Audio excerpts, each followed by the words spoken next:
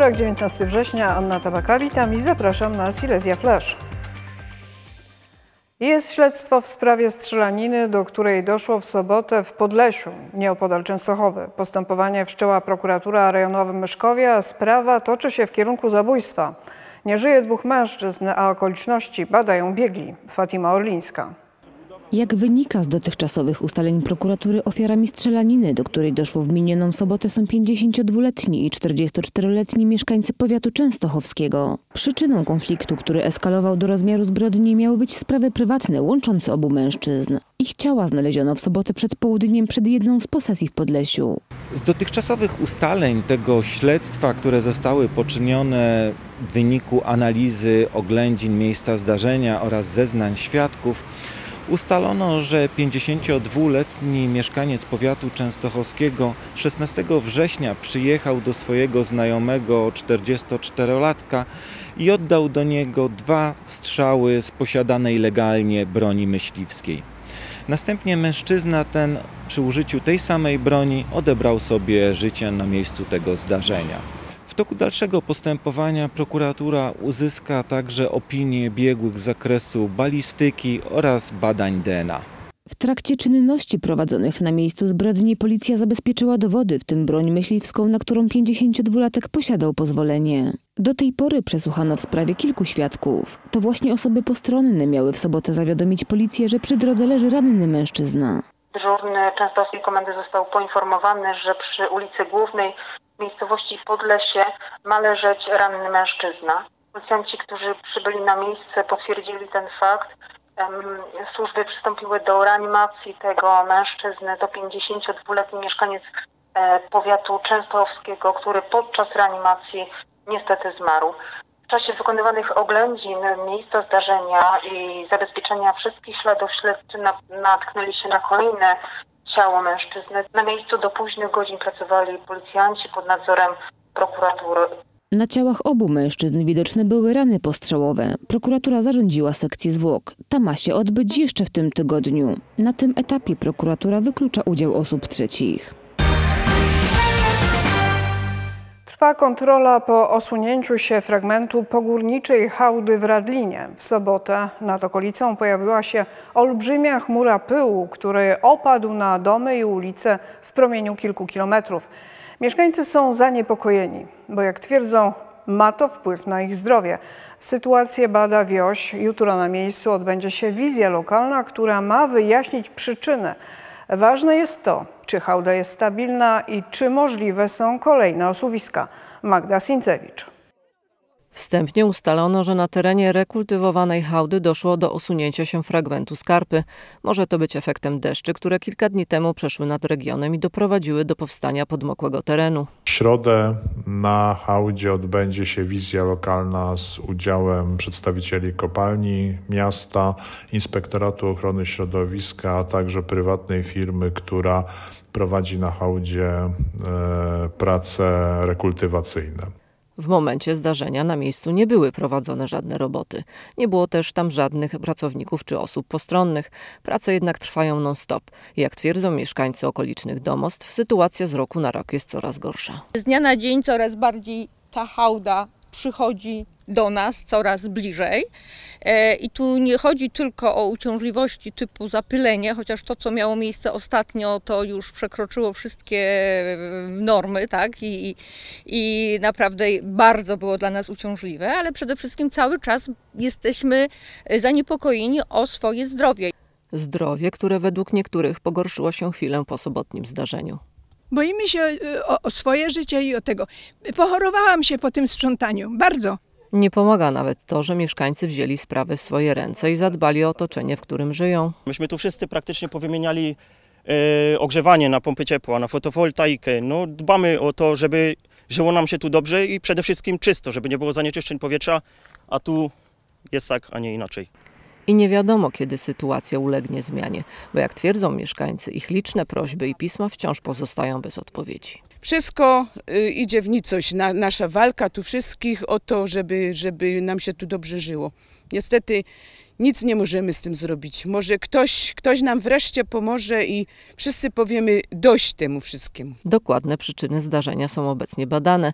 Wiadomo, że kilka dni przed w spółce, która eksploatuje hałdę, rozpoczęła się kontrola interwencyjna po informacjach, jakie wpłynęły do inspektoratu od władz Radlina i które dotyczyły licznych skarg mieszkańców na uciążliwe pylenie. Poza czynnościami kontrolnymi, które w tej chwili są w toku, zaplanowane zostały także pomiary emisji. Pomiary przeprowadzane zostaną przez Centralne Laboratorium Badawcze GIOŚ na zlecenie Wojewódzkiego Inspektoratu Ochrony Środowiska w Katowicach za pomocą specjalistycznego ambulansu.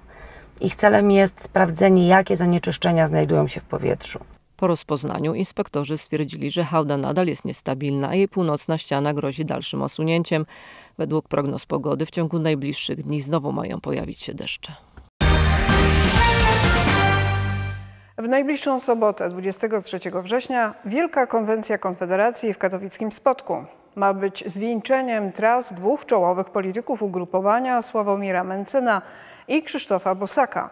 Jak się okazuje, nie wszystkim ten pomysł się podoba. Aktywiści próbują zablokować konwencję, tłumacząc zasadność sprzeciwu wartościami, z których słyną Katowice. Obrona równości, szacunku i tolerancja stały się pobudkami do petycji, które powstały w sieci. Konfederacja także zabiera głos w tej sprawie. Fatima Orlińska. Nie chcemy w Katowicach polityków, którzy otwarcie mówią, że ich poglądy są faszystowskie. To wbrew 13 artykułowi polskiej konstytucji mówią mieszkańcy, którym nie podoba się pomysł konwencji Konfederacji. Ci, którzy stworzyli i podpisali petycję w sieci podkreślają, że nie są przeciwko demokracji, a mowie nienawiści, którą ich zdaniem wygłaszają przedstawiciele ugrupowania. Zgodnie z artykułem 13 Konstytucji nie można na przykład wypowiadać antysemickich treści. W związku z tym ja pozostaję w zgodzie z konstytucją i występuję w imieniu e, konstytucji, zgodności z konstytucją i w imieniu takich wartości jak poszanowanie równości, poszanowanie e, równości wszystkich, niezależnie od tego skąd pochodzą i kim są. Po prostu domagam się szacunku dla ludzi. E, być może będzie tam nawet jedynka z okręgu 28, czyli Tomasz Stala, który powiedział, że jego poglądy wyewoluowały w kierunku faszystowskim, czyli wprost mówi, że jest faszystą. ja sobie nie życzę, żeby w moim mieście głoszono takie poglądy w miejscu i obiekcie, który jest istotny i jest dla Katowic symboliczny. Pod petycjami sprzeciwiającymi się konwencji podpisało się łącznie kilka tysięcy osób. Aktywiści zwrócili się do władz miasta oraz grupy PTWP, będącej zarządcą spotkania o zablokowanie wydarzenia, a następnie konkretną deklarację, czy ostatecznie konwencja dojdzie do skutku. Jak przekazał rzecznik prasowy Katowickiego Urzędu, to nie magistrat, a PTWP jest stroną decyzyjną. Jako zarządca obiektów Międzynarodowego Centrum Kongresowego i Spotka jesteśmy zobowiązani do zachowania otwartości wobec każdego organizatora wydarzeń, który działa zgodnie z obowiązującym prawem na terenie naszego kraju. Nie posiadamy więc podstaw ani uprawnień do odmowy udostępnienia przestrzeni dla wydarzeń, które spełniają kryteria określone w obowiązujących przepisach prawa. Do sprawy odnoszą się również sami zainteresowani. Przedstawiciele Konfederacji powołują się na demokrację i równe prawa dla wszystkich, zwłaszcza w okresie kampanii wyborczej. Ponadto uważają, że osobiste polityczne przekonania kogokolwiek nie powinny mieć wpływu na decyzję, czy dane wydarzenie może się odbyć. Dlatego też swoje pismo do prezydenta Katowic wystosowała również Konfederacja. Wiele razy słyszę o Belgii na mój temat, że jestem faszystą, szurem, e, płaskoziemcem, e, foliarzem.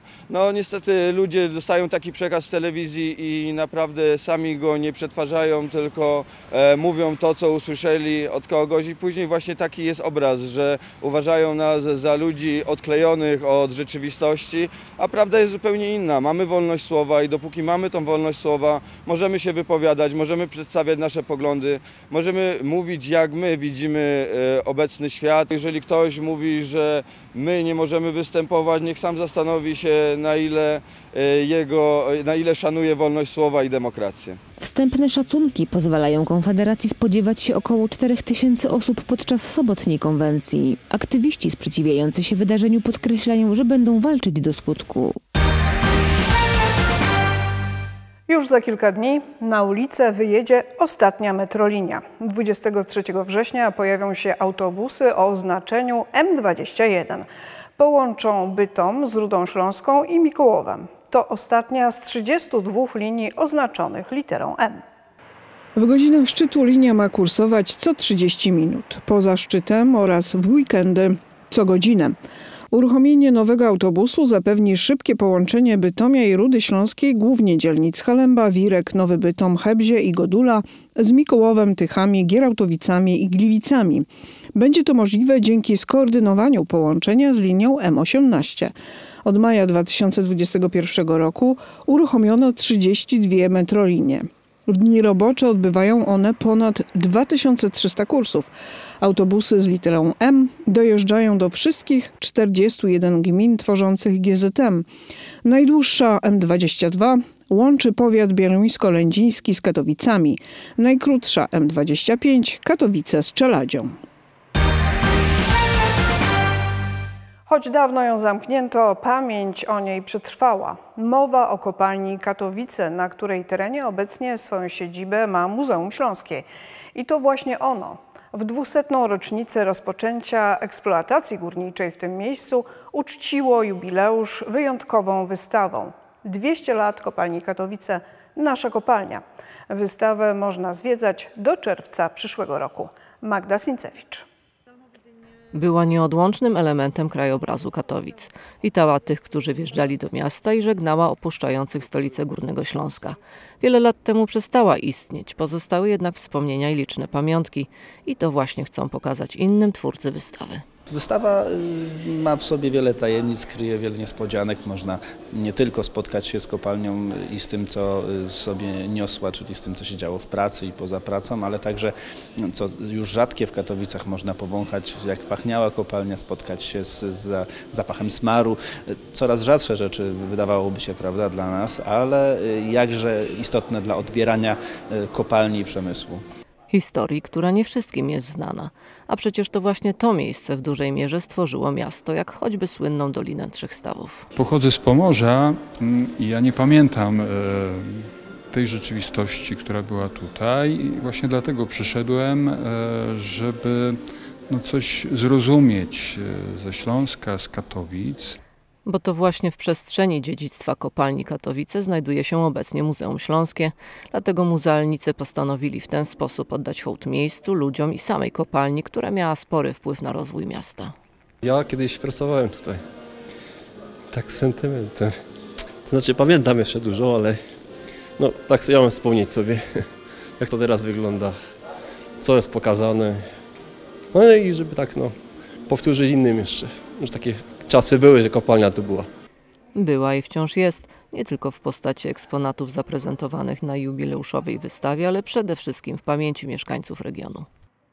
Taki był wtorek. Zapraszam jutro. Do zobaczenia.